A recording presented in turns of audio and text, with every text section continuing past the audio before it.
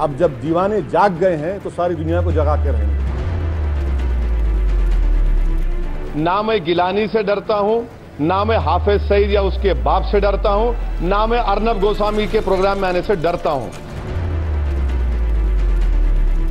भारत माता की जय की बात आती है कहते मैं बोलूँगा नहीं बोलूँगा क्यों नहीं बोलूँगा? भारत को आप भारत माता नहीं मानते हैं क्या?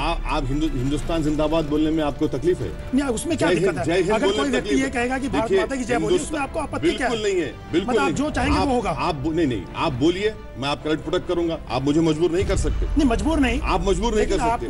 मोहन भग, मोहन भगवत ने कहा था कि इनको बोलना पड़ेगा।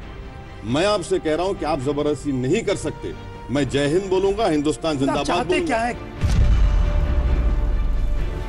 स्वामी साहब मैं आपके रहमो करम पर ज़िंदा नहीं हूँ उस मुल्क में। आप मेरे मालिक नहीं है। हम देखेंगे आप क्या देखेंगे सर? कॉन्स्टिट्यूशन देखेगा रूल ऑफ़ लॉ देखेगा। हम भी इस देश के लिए लड़े हैं। और आप उस पार्टी के लिए काम कर रहे जो अंग्रेज़ों के पैर चाट रहे थे। और उस पार्टी के लिए आप काम कर रहे थे जो मौत से डरकर छह छह मरतबा मर्सी पटिशन लिख रहे थे। हम फांसी के फंदे पर चढ़ गए अल्लाह फजल खैराबादी। और आप सत्तर साल के बाद मुझसे कह रहे हैं कि हम देखेंगे। हमने इन पर भरोसा किया उन्होंने हमको धोखा दिया। हमने इनको अपना लीडर माना हमने इनको अपना रहबर माना हमने इनको अपना मसीहा माना मगर हमको क्या मिला? सिर्फ़ इफ्तार की दावत मिली और हमको चौक चपरासी की नौकरी नहीं मिली।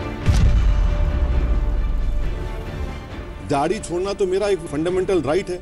और अगर ये लोग, अगर इस, ये हरकत क्यों कर रहे हैं कि डर पैदा किया जाए मुसलमानों में? डर पैदा किया जाए कि तुम अपनी इस्लाम की जो मुसलमानों की जो तुम्हारी शनाख्त है, जो संविधान हमको देता है, वो भूल जाओ। इसलिए मैं कह रहा हूँ, आज भी कह रहा हूँ कि मुझे कोई मेरी दाढ़ी को काटेगा, मैं फिर छोड़ूँगा।